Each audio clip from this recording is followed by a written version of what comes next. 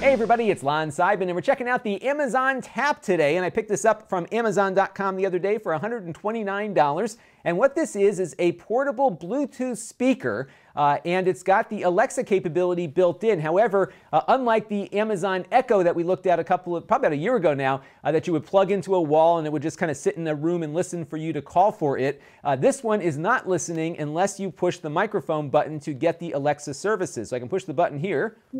What's the weather like tomorrow?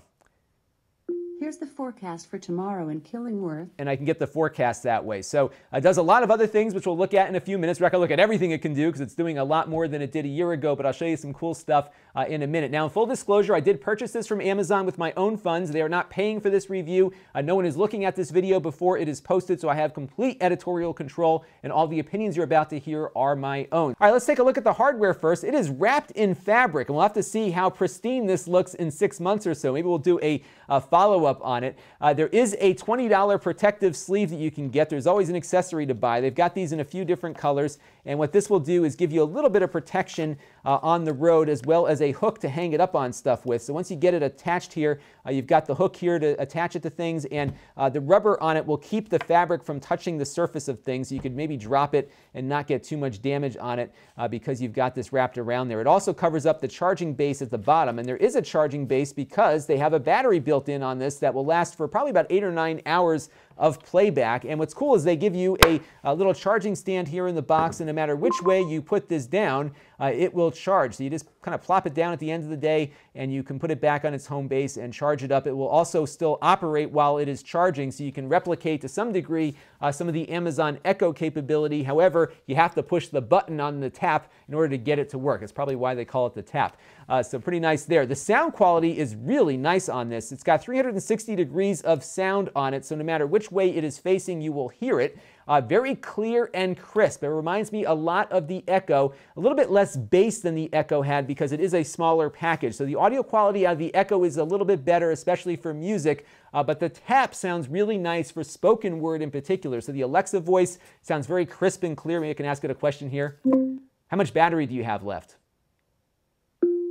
The battery is fully charged. So very crisp and clear, uh, very easy to hear from across the room. It's very loud actually when you want it to be. So I think for uh, using it as like a little boom box somewhere, uh, it's really nice. Now there's a bunch of ways to get audio into this. Of course, what Amazon would love for you to do is attach it to your Wi-Fi and use their music services. So Amazon Music, whether you are a Prime customer or have purchased music, all of that is accessible to you automatically just by asking for it. Uh, there's also Audible Books because that's another Amazon company, but uh, there are a number of other services now that are linking up to this along with a number of podcasts also. So TuneIn Radio, Spotify, a bunch of other non Amazon services are also on here too, and I'm sure more will be added uh, as time goes on. There's certainly a lot more on the Alexa platform now than there was uh, a year ago when we first looked at it. It's also a Bluetooth speaker though, so if you have a service like uh, you know something from your iPhone or something that is not uh, currently working with this natively, you can connect your phone or other device via Bluetooth and play back music that way. Uh, you also have the option to plug in an analog adapter here and just plug in a you know a cassette player if you wanted to, or even your 8-track and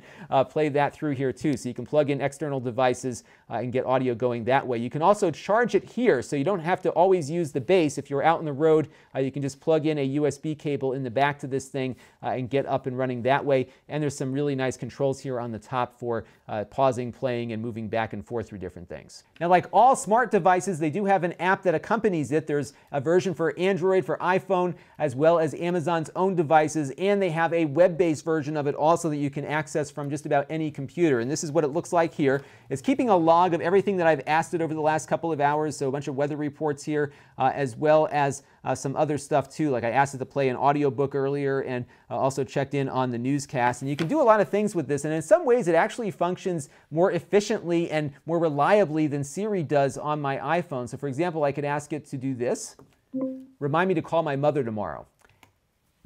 I put call my mother tomorrow on your to-do list. And what's amazing is just how fast this comes back and shows up on the app. So you've got uh, some to-do management on here. You can set appointments. You can connect your calendar to it. And there's also connectivity to smart home devices as well. So I put a lamp back there and I connected a Belkin Wemo to it and I can do this. Turn on the desk lamp. Okay. And it's so quick. It really works really nicely. Turn off the desk lamp.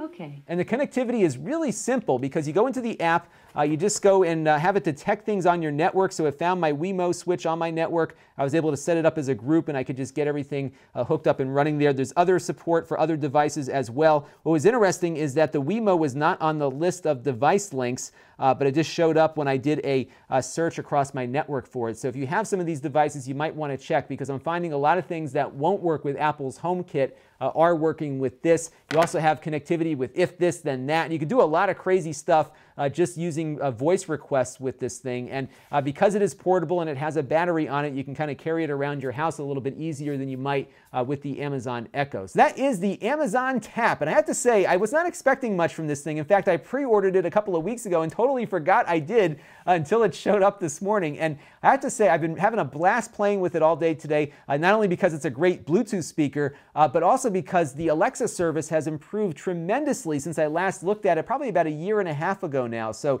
uh, really great, very responsive, very accurate, hasn't really given me any hiccups at all either. It's been doing exactly what I've wanted it to do uh, very, very quickly. And I love the connectivity, especially with the Amazon uh, universe, because I am an Amazon Prime subscriber as well as an Audible subscriber. And just being, being able to just uh, ask it to read me one of my books and have it pick up right where I left off on it uh, was just really cool. And then to have that uh, bookmark get placed when I paused it and then sync back to my other devices, I just think it's just really nice just how seamless this thing integrates. And it's also good, though, to see Amazon bringing in other providers, too. So we've got Spotify on here. I'm sure other services will be coming into play uh, very shortly on it also. And if you've been looking for a device to play around with this Amazon Alexa service and were reluctant to get the Echo because you may not like that always listening thing, now you've got an option where uh, you can push the button and then have it listen as opposed to uh, having the microphone always on. So you've got a little bit more privacy with this if that was a concern, and you'll pick up a very nice portable Bluetooth speaker as a result. So